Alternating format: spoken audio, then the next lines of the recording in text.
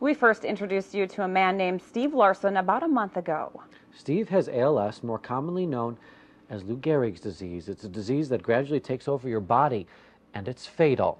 Today we went back to the nursing home where Steve is staying and spoke about Christmas, about the new year, about defying the odds, and about making each and every day count. The biggest thing I've noticed is uh, muscle weakness in my neck. And that really creates a lot of problems. Me, I want to sit up every day, you know, and uh, I, I can feel that going pretty fast. Since our last visit, ALS has crept further into Larson's already frail body. But when the going gets tough, Steve Larson, well, he adapts.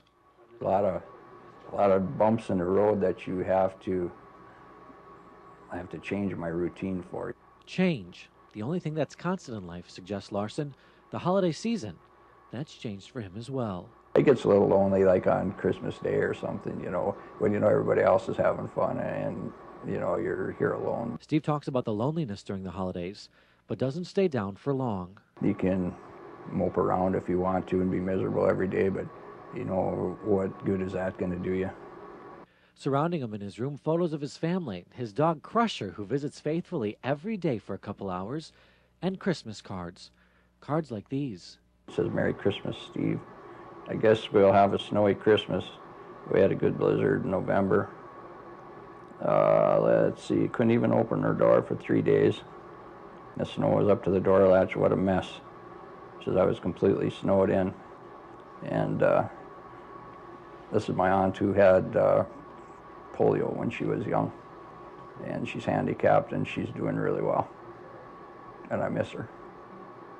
We move on to New Year's and resolutions. And Steve says live for today, not for a date on the calendar. You know, if you if you notice you're doing something wrong in your life and if you have to wait till New Year's Eve to change it, it's probably not going to work. in short, live your best life and live it now. We should tell you we'll continue to bring you periodic updates on Steve Larson and his condition and his advice on living your best life.